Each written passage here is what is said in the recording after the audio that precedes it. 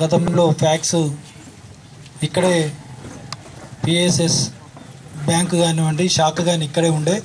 మరి గతంలో కొంతమంది నాయకులు దీన్ని తీసుకుపోయి జగిత్యాల మెర్జ్ చేయడం మరి దాని ఫలితంగా ఇక్కడ ఉన్నటువంటి కన్నాపుర కానివ్వండి పురంలో కానివ్వండి దీనికి అనుబంధంగా ఉన్నటువంటి హనుమాన్పేట కన్నపల్లి బాలపల్లి గ్రామాలు మరి ఏదైతే ఈ గ్రామానికి దూరంగా జగిత్యాల పరిధిలో వెళ్ళడం జరిగింది మరి అయితే ఈ బిల్డింగ్ కూడా శిథిలావస్థ కావడం మరి గత ఎనభై రెండులో కట్టినటువంటి బిల్డింగు పూరా శిథిలమైన కారణంగా మరి గౌరవ ముఖ్యమంత్రి వర్యులు మరి ఏదైతే తెలంగాణ ప్రభుత్వం వచ్చిన తర్వాత మరి తెలంగాణ రైతాంగానికి పెద్దపీట వేస్తున్న ప్రభుత్వం గౌరవ కేసీఆర్ గారి నాయకత్వంలో మరి ఇక్కడ ఒక గోదాం మరి ఇక్కడ చుట్టుపక్కల ఉన్నటువంటి రైతులకు ఏకకాలంలో ఎరువులు కానివ్వండి ఫర్టిలైజర్ కానివ్వండి ఏదైనా కానీ నిత్యం అందించే విధంగా మరి నూతన గోదాంకు గౌరవ శాసనసభ్యులు భూమి పూజ చేయడం శుభదాయకం.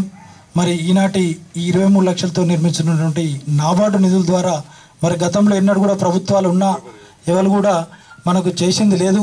ఎందుకంటే నాబార్డు నిధులతోటి మరి గౌరవ ముఖ్యమంత్రి గారు మాట్లాడి మరి రాష్ట్రంలో ఎక్కడ కూడా పురా పురాతన ఏదైతే పిఎస్ఎస్ గోదాములు ఉన్నాయో మార్కెట్ యార్డ్లు గోదాములు ఉన్నాయో అన్నిటి కూడా నాబార్డు నిధులతోటి గౌరవ ముఖ్యమంత్రి గారు మాట్లాడి మరి ఇక్కడ కూడా సంజయ్ గారి ఆధ్వర్యంలో మరి వారు మొన్ననే వారి చేతుల మీదుగా పొలాస కానివ్వండి మరి ధర్మారం జాఫ్తాపూర్ కానివ్వండి మోరపల్లి కానివ్వండి అన్ని కూడా ప్రారంభించడం భూమి పూజ చేయడం జరిగింది. వాటిని కూడా ఈ వర్షాల కారణంగా కొంత లేట్ అయింది.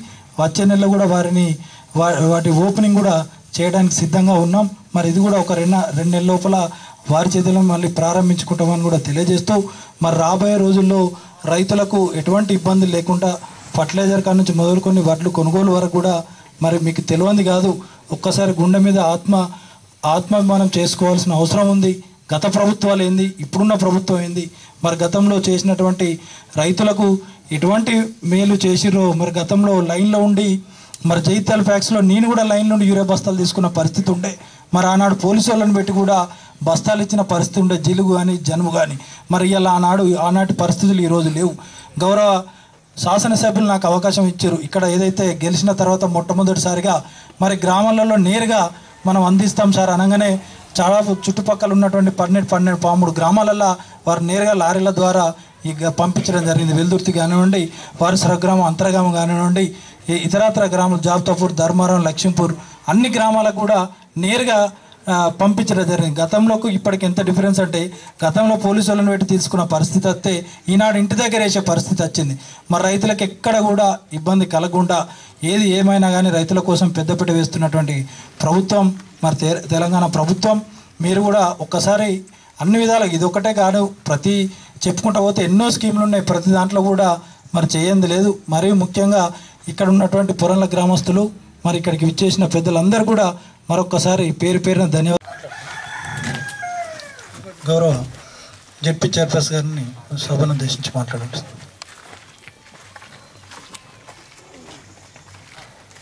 ఈరోజు గతంలో ఇంతకుముందు చైర్మన్ గారు చెప్పినట్టుగా ఇక్కడే ఉండే పొరళ్ళలో కానీ అది రైతులకు అందాలనే ఉద్దేశంతో అప్పుడు ఉండే. కానీ రైతులకు చేరుగా పరిపాలన ఉండద్దని చెప్పేసి గతంలో ఉన్న నాయకులు దాన్ని నిర్వీర్యం చేసి మీకు అందకుండా చేసారు కాబట్టి మళ్ళీ సంజయ్ అన్న గారి ఆలోచనతోటి ఈరోజు పిఎస్సి చైర్మన్ గారు ఇరవై మూడు లక్షలతోటి ఇక్కడ గోదాం నిర్మాణానికి భూమి పూజ కార్యక్రమం చేసుకోవడం మీ అందరితో పాటు మాకు కూడా ఒక రైతు బిడ్డగా స- చాలా సంతోషం. మీ అందరికి కూడా శుభాకాంక్షలు. ఎందుకంటే రై ఎరువులు కానీ ఇతరత్ర వ్యవసాయానికి సంబంధించిన పురుగు మందులు కావచ్చు ఇవన్నీ కూడా మీకు ప్రజలకు అందుబాటులో ఉన్నట్టయితేనే సౌకర్యంగా ఉండాలనేది ముఖ్యమంత్రి గారి ఉద్దేశం.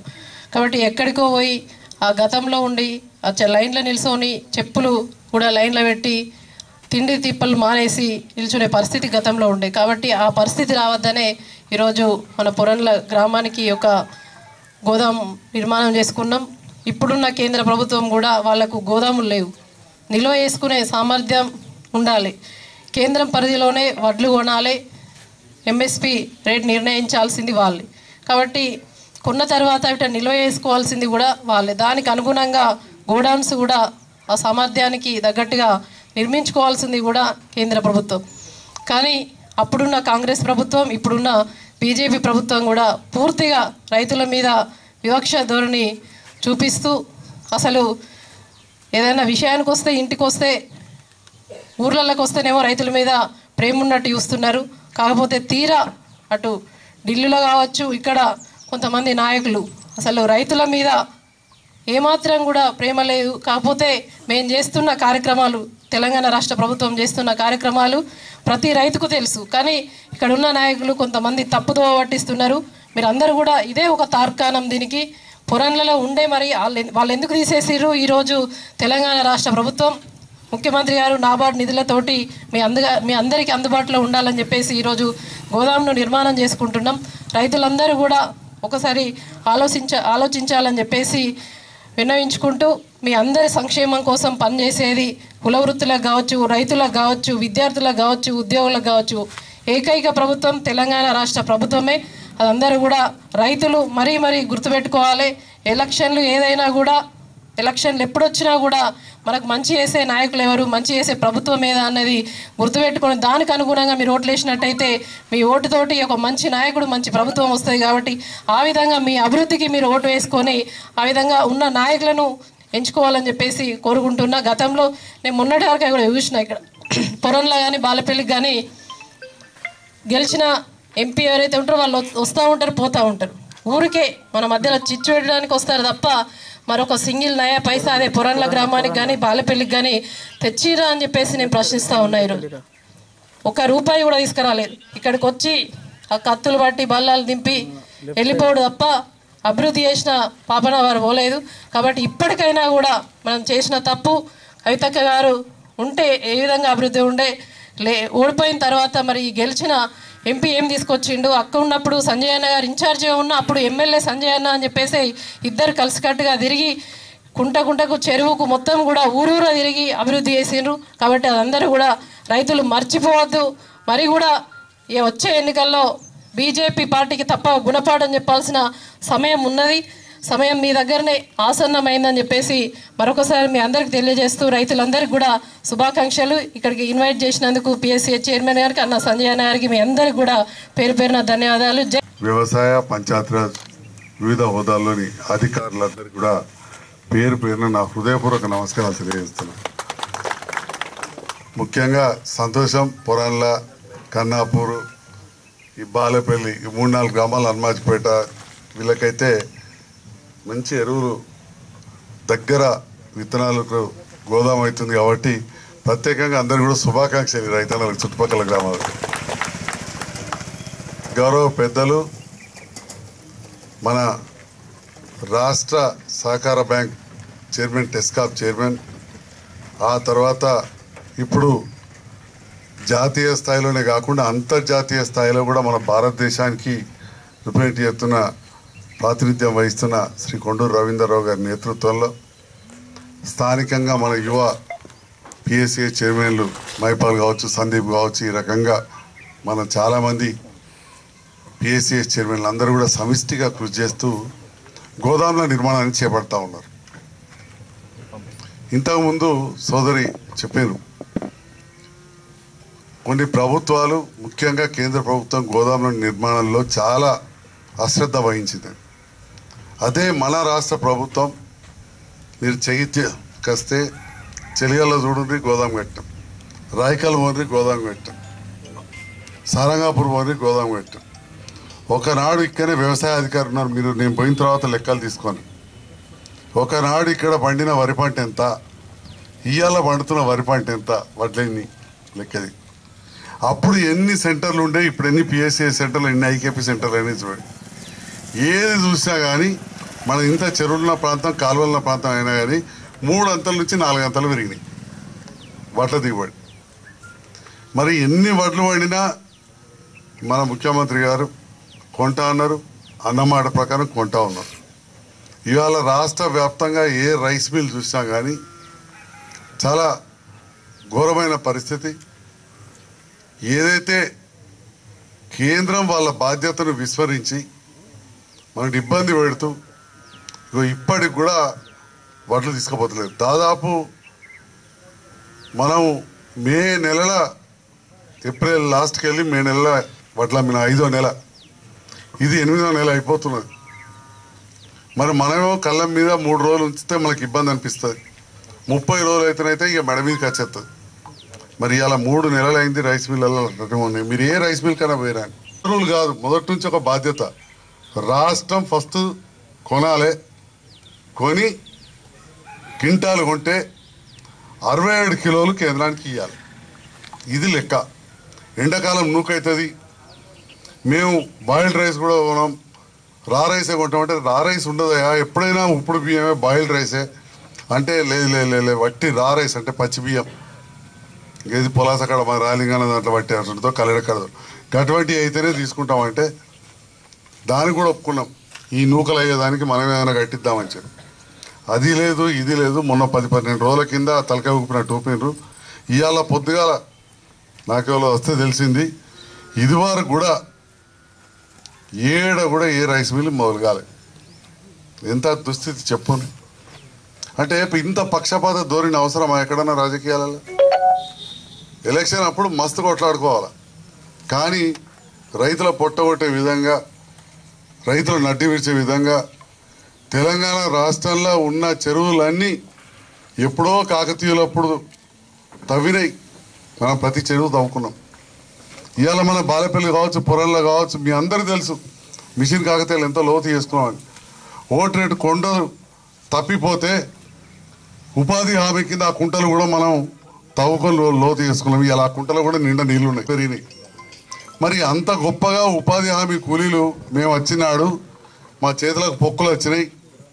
కారికాలు మంటలు మండాయని కూలీలు పాపం చాలా బాధపడ్డారు.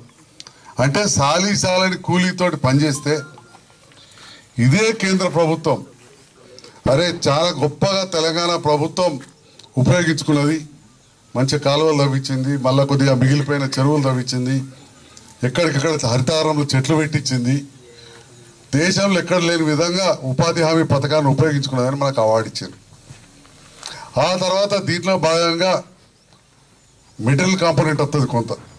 ఇవాళ మన గ్రామ పంచాయతీ కట్టుకునే అనుకో రైతు వేదికలలో కొంత భాగం కొంత వైకుంఠ ధామాలు. అరే బాగా చేసిరని చెప్పి అదొక అవార్డు ఇచ్చారు. ఈ రెండు వంగా ఇక్కడ మహిళా సంఘాలు నడిపేటోళ్ళకి తెలుస్తుంది తర్వాత ఆడిటింగ్ ఉంటుంది ప్రతిసారి. రెండు సంవత్సరాలకు ఒకసారి ఏడాదికి ఒకసారి ఆడిటింగ్ అయితేనే మళ్ళీ పని మళ్ళీ పెట్టుకోవచ్చు. బెస్ట్ ఆడిటింగ్ అవార్డు కూడా తెలంగాణకి ఇచ్చారు ఇదే ఇదే బీజేపీ ప్రభుత్వం ఇదే కేంద్ర ప్రభుత్వం. ఇచ్చారు ఇగో ఇవాళ దేశ రాజకీయ పరిస్థితులు మారుతూ ఉంటే దేశ విలువ దిగజారుతూ ఉంటే దేశ విలువ దిగజారడం అంటే రూపాయి విలువ దిగజారుతుంది కాబట్టి. రూపాయి విలువ దిగజారితే దేశం విలువ దిగజారినట్టు. రూపాయి విలువ దిగజారుతుంది అస్తవ్యస్తం అవుతుంది కాబట్టి ముఖ్యమంత్రి గారు గట్టిగా మాట్లాడినందుకు మన మీద కక్ష కట్టి అక్కడ మమతా బెనర్జీ మాట్లాడితే పశ్చిమ బెంగాల్లో ఉపాధి హామీ బంద్ చేసినారు ఇగో ఇవాళ మన దగ్గర కూడా బంద్ చేసేందుకు సిద్ధమయ్యారని చెప్పి ఈ సందర్భంగా తెలియజేస్తాను. చాలా బాధాకరం. దీన్ని ప్రతి రైతన్న కావచ్చు ప్రతి కూలి ఖండించాలి. వాస్తవానికి మన ముఖ్యమంత్రి గారు దీన్ని వ్యవసాయానికి అనుసంధానం చేయమన్నారు. వ్యవసాయానికి అనుసంధానం చేయమన్నారు. ఇవాళ మనం అందరు చూసి ఇలా హరితారానికి అనుసంధానం చేసాం కానీ ఈ పచ్చగా ఉంటే ఓర్వలేక కల్లెర వేసుకొని ఇగో ఉపాధి హామీని ఆపే పథకాన్ని చేస్తా ఉన్నా. ఏదన్నా మన ముఖ్యమంత్రి గారు ఉద్యమ నాయకుడు ఇవన్నిటికీ అదిరేది లేదు నా బెదిరేది లేదు. యువ నాయకులు మాడ సందీప్ కావచ్చు ఇక్కడ మైపాల్ కావచ్చు సీనియర్ నాయకులు రామచంద్రరావు గారు కావచ్చు తాట్లవాయిలో భూపత్పూర్లో ఇవన్నీ కూడా జరుగుతున్నాయి. చాలా అవసరం. ఎందుకంటే ఎట్లయితే ఒక్కొక్క చెరువు తవ్వుకుంటూ పోతే దగ్గర దగ్గర రెండు వందల యాభై టీఎంసీల నీళ్ళు మనం ఎక్కువ సమకూర్చుకున్నాం. దాంతో భూగర్భ జలాలు పెరిగినాయి. ఒకటి ఏంటంటే అనుకోకుండా అకాల వర్షాలు అతి వర్షాలు అతి అయిపోయింది. అదొకటే బాధ ఎడగొడుతుంది ఎడగొడుతుంది గంట సేపటి డమ్మడమ్మ పడేదాకా తెలుతలేదు. నేను ఎడ కొట్టింది. దన్న దన్న వాన పడితే రాయకల్ కాడ పిల్లగాడు కొట్టుకపోయాడు తల్లి ఇద్దరు కొట్టుకపోతే తల్లిని గుంజిరు పిల్లగాడు కథమైపోయాడు. పట్టబాటిల్ రాయకల్ ఊర్లో నిన్న. అంటే విచిత్రమైన వ్యవస్థ. కాబట్టి ప్రకృతి అనేది కొంత ఇబ్బంది పెడుతున్న సందర్భం. అయినా కానీ మన ముఖ్యమంత్రి గారు ముక్కవని దీక్షతో ఎన్నో కార్యక్రమాలు చేస్తాం ఉదాహరణ ఈ పొరలు ఉన్నది. చాలామంది అంటారు ఏం చేసిరు ఏం చేసిరు అంటారు. ఇవాళ ఎంతమందికి పెన్షన్లు వస్తున్నాయి అంతకుముందు ఎన్ని వచ్చినాయి అనేది ఏ సర్పంచ్ని అడిగినా ఏ గ్రామ పంచాయతీకి తెలుస్తుంది ఇలా బీడీ కార్మికులు అక్క చెల్లెలు దాదాపు రెండు వందల అరవై మంది ఉన్నారు. భారతదేశంలో పదహారు రాష్ట్రాలలో చేస్తారు. ఎక్కడన్నా రూపాయి పింఛన్ జగిత్యాలకు వచ్చి ఆ వెయ్యికి పది రూపాయలు పెంచు ఇరవై రూపాయలు పెంచు అని చెప్పి ఆలోలిలో ఎర్ర జెండాలు పట్టుకుని వస్తారు ఎక్కతక్క చెప్పారని చిన్నప్పటికెళ్ళి చూస్తుంటివి. ఓ పాపం లేడీస్ అందరూ వచ్చి ధర్నా చేస్తారు. ఏ సర్కారు కూడా ఒక రూపాయి ఇయ్యలే. భారతదేశం మొత్తంలో ఆ బీడీ కంపెనీ వాళ్ళు వాళ్ళు పెంచాలని చెప్పి కూలి. కానీ అడగక ముందే మన ముఖ్యమంత్రి గారు వీళ్ళు ఈ బీడీలు చేసి రోగాల పాలవుతున్నారు వృత్తి కూడా దెబ్బతింటున్నది. ఆ ఆడబిడ్డలు ఆదుకోవాలని చెప్పి ఇవాళ రెండు వేల పింఛన్ ఇస్తే ఇవాళ ఒక్క మన పొరంలో రెండు వందల అరవై మందికి వస్తుంది ఆడబిడ్డలకు. ఏమొచ్చింది ఏమొచ్చింది అంటారు. నేను మొన్ననే లెక్క వేసుకున్నాం మనమే అందరం కూర్చొని. ఒక్కొక్కళ్ళకు మొదట్లో నెలకు వెయ్యి రూపాయలు. ఇప్పుడు నెలకు రెండు వేల రూపాయలు చొప్పున లెక్కెత్తే లక్ష ముప్పై వేలు దాటింది. వాళ్ళ అకౌంట్లలో డైరెక్ట్ లక్ష ముప్పై వేలు తెలంగాణ వచ్చినాక వచ్చినాయి. ఏదైనా నూట ముప్పై రూపాయలు కాదు రూపాయి ముప్పై పైసలు సర్కార్కి వెళ్ళి వచ్చినాయా? బీడీ కార్మికులు మన అక్క చెల్లెల అకౌంట్లలో? ఇవాళ రెండు వందల అరవై కుటుంబాలు అదనంగా కాదా? మిగతా ఉన్నాయి పెన్షన్స్.